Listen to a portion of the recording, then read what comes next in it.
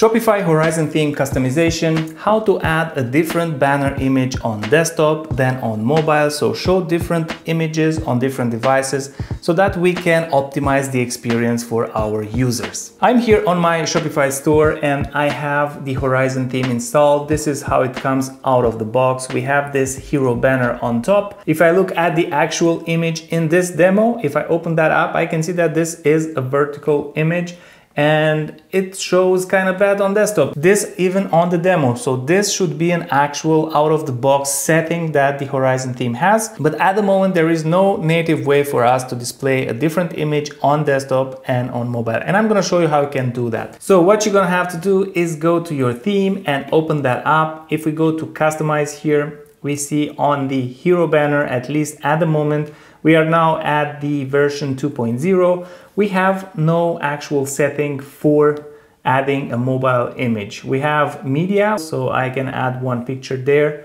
It's going to show on the entire banner. And if I go to media 2 and I select another image, let's say this one over here, is going to display next to the media number 1. This should be different versions for mobile and desktop, but they didn't think it like this. So maybe later on we're gonna get this functionality out of the box, but for now there is no actual way to have different images for different screen sizes. So I'm going to show you how you can modify these sections to have this functionality. What you're gonna have to do is go to edit code. This is gonna send you to the code editor and inside there you're gonna search for hero. So hero, we're gonna have this section over here which I'm going to open up. There is a link in the description with the step-by-step -step tutorial you can follow. If not, you can try to keep up with the video. So the first thing we're gonna have to do is to add this line here. And this will assign a variable for us here at the top. Don't mind the red line. That means that the variable is not used inside the section. We're going to use it a bit later. Just leave it as it is and don't save just yet. For the next step, we're gonna scroll down and find the first HTML tag. Everything that you see here is liquid code. We want to find the first HTML tag, which can be a div or a span. In this case, on the Horizon theme, we're gonna have this div over here. And all the HTML tags normally have a class property, which has classes inside like that. So this one is a class, hero, and color and minus whatever this is. This one is also a class. So whenever the liquid gets rendered, this results in a class. And also this is a class here at the end. All we have to do here is go in the class parameter next to this class over here and add a new class, which will look something like this and make sure that it has a space here after it. So it's going to say visibility minus and add all of that in but make sure that you have a space here and make sure if you have classes in front that you have a space in the beginning because if you have another class here let's say just class if you have a class like that and you have visibility right next to the class then the class won't work because it's not going to be the same so you will have to make sure that there is a space between whatever class you have in there and your class in the beginning like that and in the end like that. So I'm going to just erase this because I don't need it. So in my case, I'm going to have visibility minus and everything in there, then a space and the rest of the classes. Now, once that's done, I can go ahead and scroll down to the schema. Here where we have the schema, we're gonna have the title of the section and everything here at the start of the schema tag.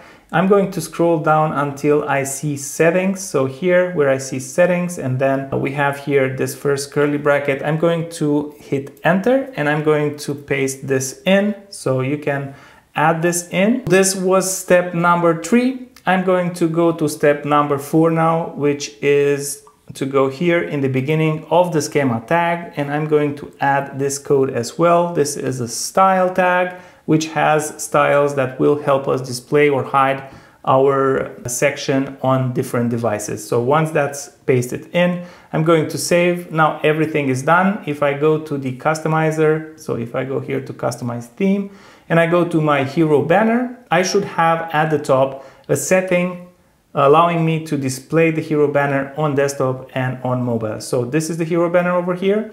I'm going to click on it. So we have now display on and it says both desktop and mobile.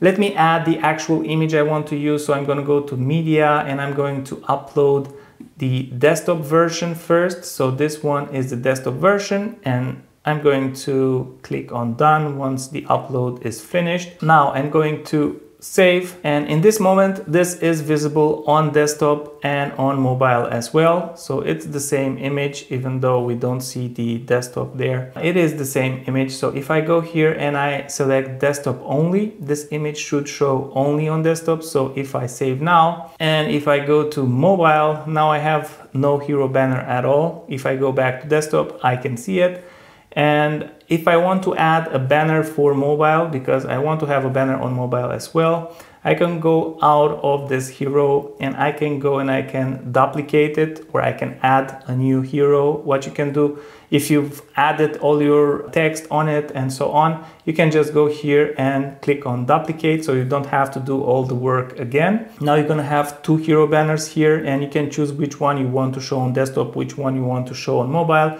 I'm just going to select the first one to be for mobile. So I'm going to select mobile only and I'm going to replace the image here. So I'm going to select from my library and add an image for mobile, which should be formatted in that way.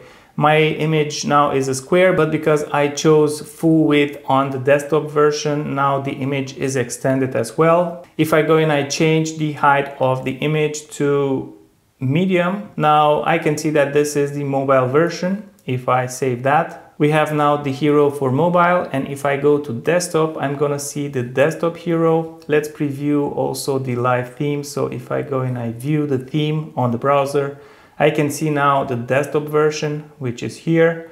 And if I go and I inspect, I go to mobile, I see the mobile version over there. And now you can go ahead and you can adjust the settings depending on the device you want to show this on. So on the Hero for desktop and you can also go and rename them. I'm gonna click on this one and I'm gonna say here Hero desktop so that I know which version I'm working on.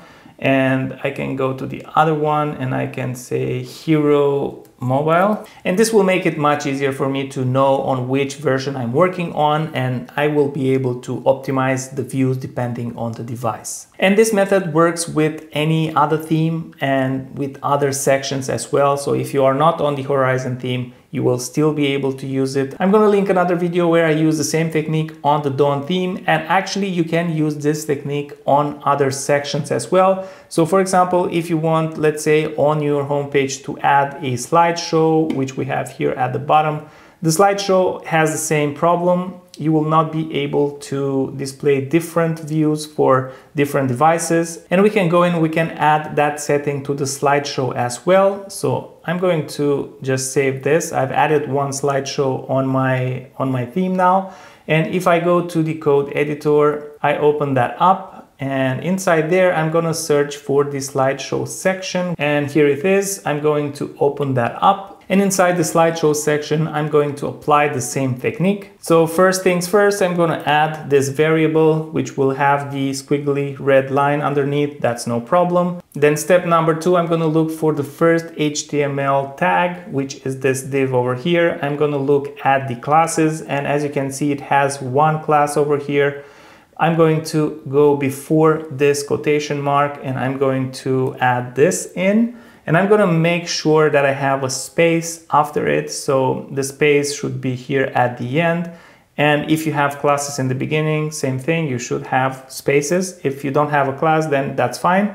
I'm going to leave the class in there Next, I'm going to scroll at the schema and inside the schema here, I'm going to look for settings and we have it here. I'm going to hit enter in there. I'm going to paste this in. So the schema starts here and the settings are these in here. And as my fourth step, I'm going to go here at the beginning of the schema tag and I'm going to add this style in, which is over here. And I'm going to save. Now again, if you want to get the tutorial with the step-by-step -step guide where you can just copy and paste everything from there, you can find the link in the description. Now again, I'm going to go and I'm going to customize the theme so that I can see if the setting was added. And I'm gonna go to the slideshow and at the top here we have display on and now it's going to display the slideshow both on desktop and on mobile.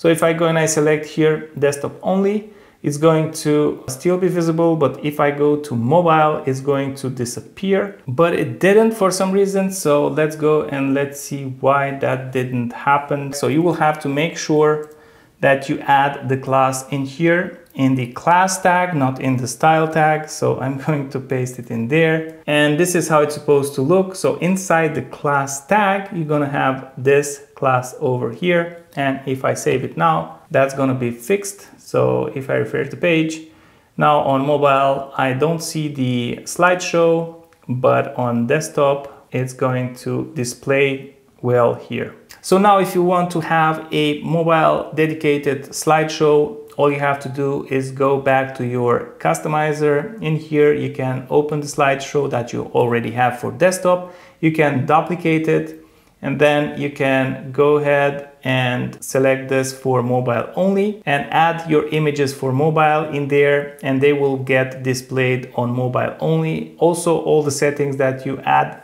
all the text or other details you add once the section is dedicated for mobile or desktop, all of that will be displayed only on those devices. You can then go ahead and rename them desktop and mobile. And there you go. Now you can display different images and different content on different devices. And now that you know how to display a different hero banner on desktop than on mobile, I think you'll be interested in seeing this video next. Click it and I'll see you there.